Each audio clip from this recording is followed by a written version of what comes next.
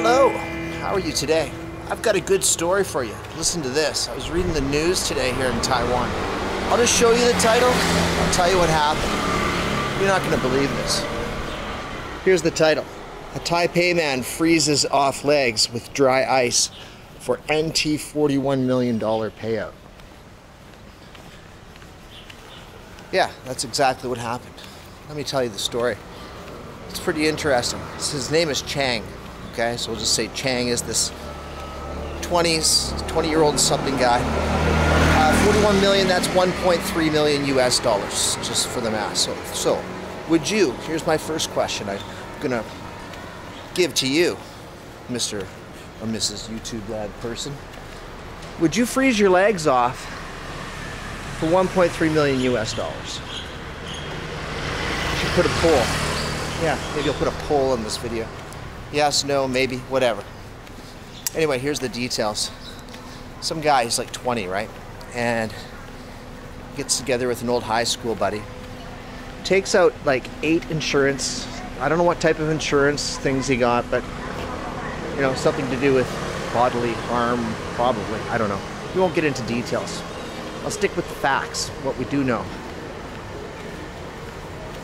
They went out to one of the suburbs close to Taipei and bought a bucket of dry ice. Hmm. And then they proceeded to take Mr. Chang, him and his friend, they tied him up with uh, twist ties, put his legs in the bucket, loud here, put his leg in the bucket for 10 hours.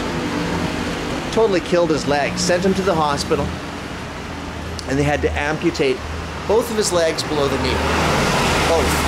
No legs below the knee. So he tries to claim his insurance, but they, they suspected fraud because he'd actually, this is dumb. This is the worst insurance scammer ever. He'd taken them all out like quite close to the time he decided to remove his lower legs. So he was hoping for a 1.3 million US uh, dollar payout. You're in your 20s, you got no legs. It's not worth that much. I wouldn't even take Elon Musk's money to, to lose both my legs. It's ridiculous. Anyways, the story continues. So he gets some payout, like one of the smaller companies paid him. So he ends up banking about the equivalent of $7,000 US.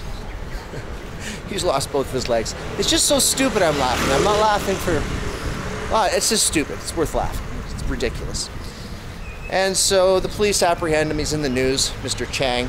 That's his surname, apparently. And uh, who knows what's going to happen? Sure, insurance fraud. He's getting thrown in jail with no legs, freshly amputated. But that's just ridiculous. But here's how it is. Like the reasoning he had was he was driving his scooter around Taiwan. This is in the last few weeks, and he just froze his legs off.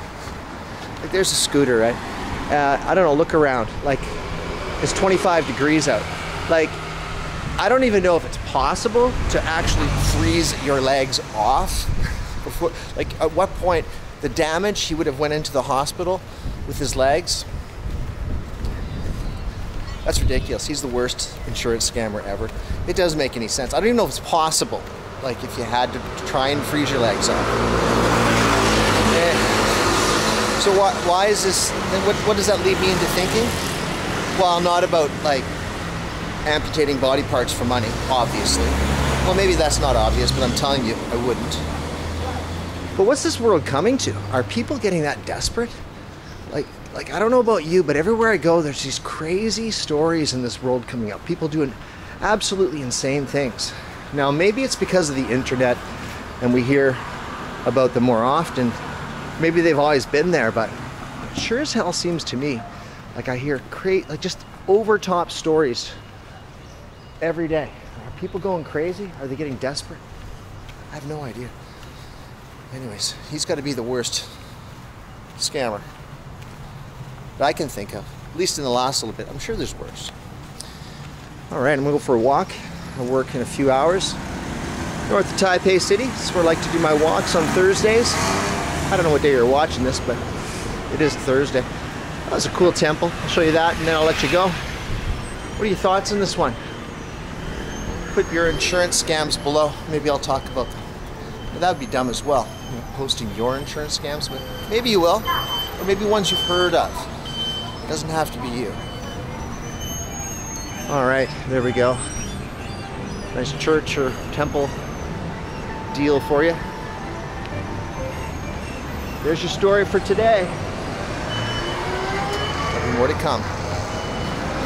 Subscribe if you want to.